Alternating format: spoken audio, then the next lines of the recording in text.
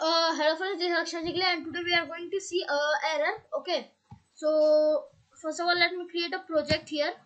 Okay, sorry, a class here. Okay, let me delete inside this. Let me delete this code and and I will just right click here, new Java class, and in this class I will name it as missing brackets. Okay. So as the name suggests that in, in this video in this error it shows error because of missing bracket okay. Now uh, here let me display you the error on my screen. So as you can see here the error it is saying. Okay. So you can read this error.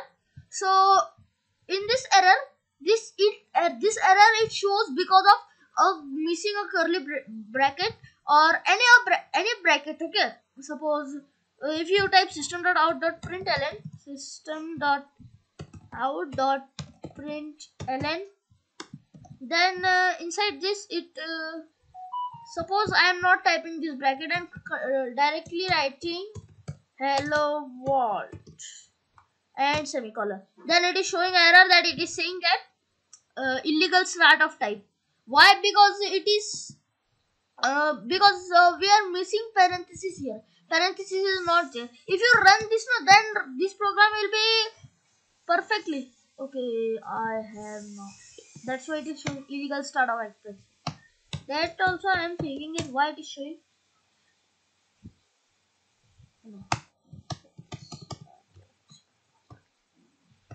Okay so inside this i will type public static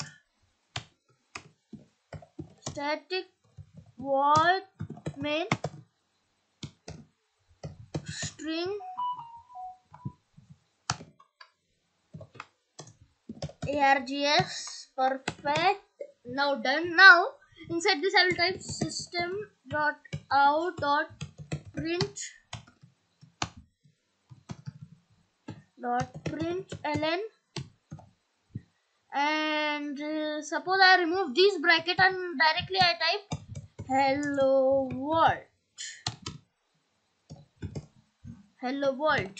Then it is showing error. See it is saying this bracket expected. Why? Because it is saying that you haven't typed here bracket. This if you have opened it with bracket then it is important to close it with bracket. Now you might be thinking that uh, if I close this then then then also it is showing error. See then also it is showing error.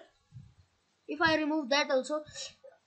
Okay not a statement. Why? Because um, in this uh, in some uh, not in some actually in all the uh, this type of uh, functions you need to uh, type curly bra braces or curly not curly braces uh, these brackets round brackets and if i remove this curly brace also it is showing. See see. It is showing error in this. See reached end of the file while parsing. That's why because uh, uh, this this, uh, this is uh, it is thinking that this is for this closing bracket is for this public static void main function.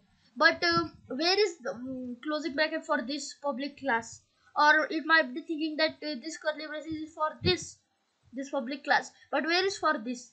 Static main. I mean main method.